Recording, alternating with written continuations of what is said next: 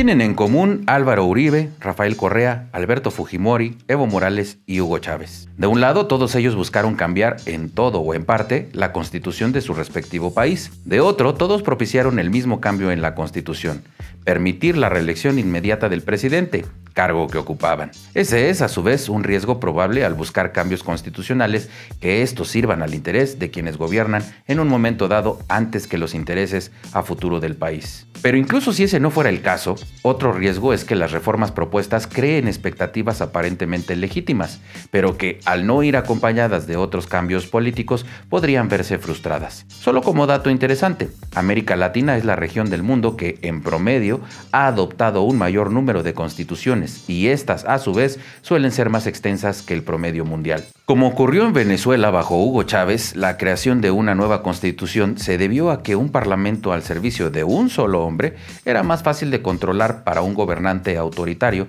antes que a consideraciones sobre su representatividad o eficacia legislativa. Comento lo anterior porque ¿Se acuerdan de aquella escena de la película La Ley de Herodes, donde llega el gobernador Fidel López, personaje de Pedro Armendáriz, a supervisar lo que ha hecho Varguitas y se da cuenta de que lo que ha hecho es precisamente cambiar la constitución para su beneficio propio? Lee los nuevos artículos y con una risa burlona le dice, pinche Vargas, saliste más cabrón que bonito. Y así, con constitución en mano y cambiada a su modo, se da inicio a la peor versión de Juan Vargas, corrupto, mentiroso, timador, y llega a ser un todopoderoso regente del pueblo, de aquel lugar del que no saldría nunca para cobrar un miserable impuesto. Vargas comenzaba a hacer su fortuna producto de las extorsiones, mordidas y demás, también como producto de utilizar la ley a su conveniencia y tener de soporte el revólver que su jefe le había dado. Bueno, pues como siempre, la realidad supera la ficción. Recordarán ustedes que un día después de que la Suprema Corte de Justicia de la Nación invalidara el famoso Plan B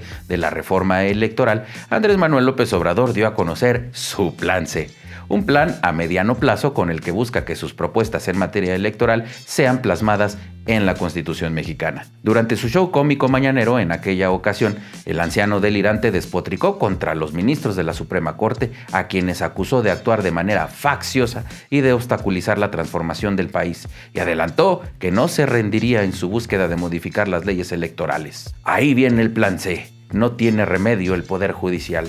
Está podrido, están actuando de manera facciosa, reclamó en Palacio Nacional. De acuerdo a sus palabras, el nuevo plan consiste en que su movimiento obtenga una mayoría calificada en el Congreso de la Unión en las elecciones de 2024, con el objetivo de aprobar reformas constitucionales sin obstáculo. Cito textual, lo primero que se tiene que hacer es tener mayoría calificada en el Congreso para que se puedan hacer reformas a la Constitución, porque la mayoría simple no lo permite.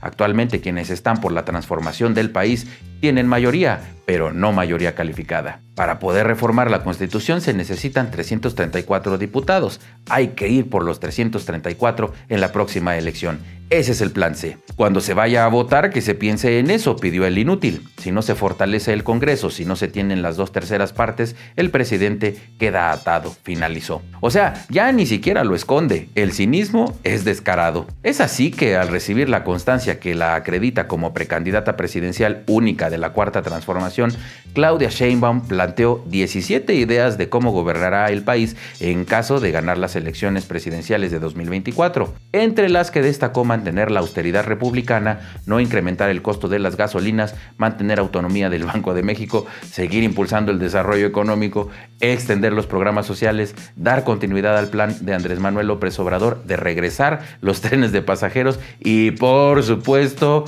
lograr el plan C. Ahora bien, ambos, el viejo y la muñeca fea, solamente están dejando ver el tema de la reforma electoral, pero si logran tener el control total del Congreso, olvídense, podrán literalmente hacer lo que se les venga en gana, pasando por encima de quien sea. Ahí la importancia de votar por otros partidos y mantener el equilibrio y la división de poderes, ¿se entiende? Y de lograrlo, se pondrá en marcha el plan C incluso antes de que López Obrador deje la presidencia, pues él sale en octubre. Cuando hay un cambio en la constitución se alteran las reglas del juego.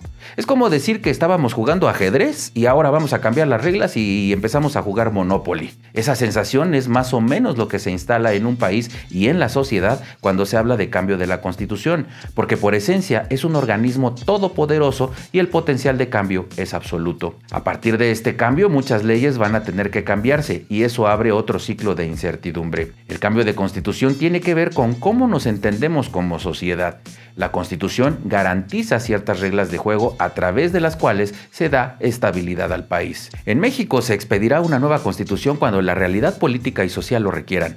Sin embargo, por el momento no es necesario, ya que son más los aspectos negativos y peligrosos que los positivos, situación que nos llevarían a un serio riesgo de retroceso democrático. En todo caso, cuando se llegue el momento de expedir una nueva constitución, debemos confiar en que se haga por la vía pacífica y como un proyecto pactado entre las principales fuerzas políticas, sometiendo el texto final a un referendo por parte del electorado. La Constitución de 1917 ha sido longeva debido, entre otras razones, a que no se ha dado una ruptura político-social. Su estructura fundamental ha sido aceptada mayormente por la sociedad, ha sabido evolucionar y cambiar a través de reformas constitucionales, y porque ha impulsado la paz social hasta ahora. Más allá de discutir la posibilidad de una nueva constitución o una reforma integral de la misma, es indispensable y urge crear una ética política que sea factor determinante para que el proceso político se conduzca dentro de los marcos que señala la Constitución.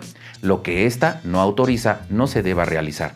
Es preciso fomentar la cultura de que nadie se encuentra por encima de la ley, que los cargos políticos y públicos son para servir a la comunidad y no por ningún motivo para la satisfacción o el enriquecimiento personales. Para actualizar lo anterior, nada es más importante que los ejemplos, los actos, los hechos y las acciones dentro del marco de la ley. Hay que difundir más y cada día más el conocimiento de la Constitución y su importancia en la protección y defensa de los derechos de todas las personas. Hay que fortalecer la cultura y la virtud cívicas, así como que el interés público y el bien común deben prevalecer sobre el de grupo o personal. ¿A poco no? Este salió más cabrón que bonito. Déjame tus opiniones en la caja de comentarios, suscríbete, dale like y presiona la campana para recibir notificaciones. Soy Luis Berman, nos vemos en Porque aquí por Atypical TV.